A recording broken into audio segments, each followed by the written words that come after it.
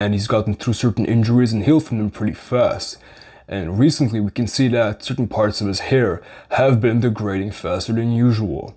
More specifically, the crown of the head, over here, and also the hairline. These are two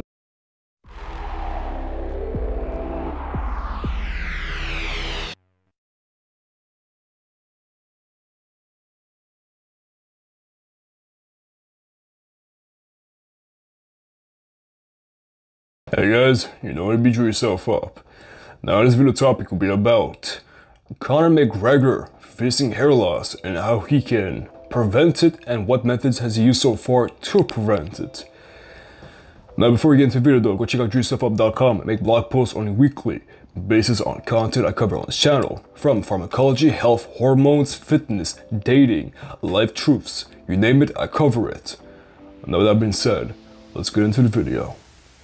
So, Conor McGregor is a famous MMA fighter, lots of attitude, lots of a big attention and fan base following him. And recently he keeps on leaving certain bits and pieces here and there of evidence showing that he's facing certain hair loss problems. Now in MMA I've known that yes it's fighting and yes people use certain substances but apparently it is very common in MMA for people to use anabolic steroids. Things like human growth hormone, testosterone therapy, hormone therapy, peptides, you name it. Now, we've seen so far that Conor McGregor is a very skilled athlete and he's gotten through certain injuries and healed from them pretty fast. And recently we can see that certain parts of his hair have been degrading faster than usual. More specifically, the crown of the head, over here, and also the hairline. These are two main parts of the body of a man, of the head of a man, that will induce hair miniaturization when hormones start fucking it over, like testosterone and DHT, dihydrotestosterone, derived from testosterone itself.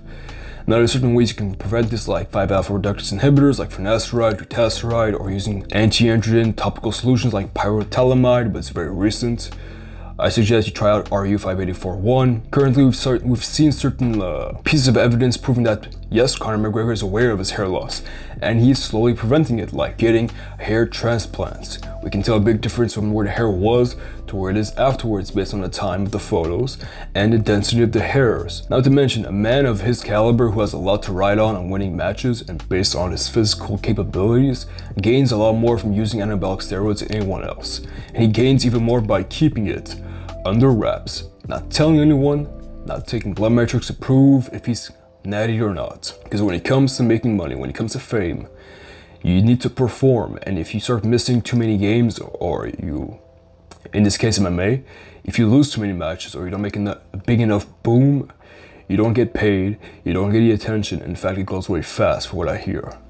Based on people's opinions who've been in actual MMA fighting, like the infamous Andrew Tate talking about how fighting is not very uh not very successful in terms of payments. Lots of guys who are great fighters out there don't even get the slightest remark, and attention, and fame that they deserve or pay for their skills. Fighting is the worst career path in history. Why? It, oh, it's the worst career path in history.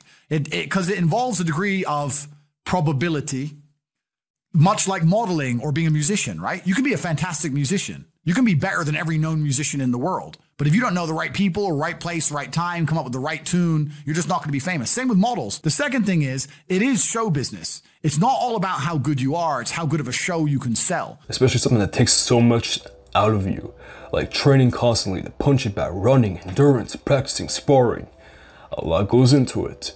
So, yeah, things he could do to prevent hair losses are pretty obvious. In his situation, the best thing he should use would be RU because again, RU will prevent hormones from attaching to the hair follicles. So you save your hormones and the body from being neutralized by fucking medications. And it will allow things like minoxidil and dermarolling to fast track the hair growth because it's not facing an uphill battle. It's facing a downhill battle because RU prevents any hormones from fucking up the hair. And using minoxidil as a topical liquid will allow it to come back without the whole DHT or testosterone fighting in between. Because yes, fellas, testosterone can cause hair miniaturization just as much, well actually not as much.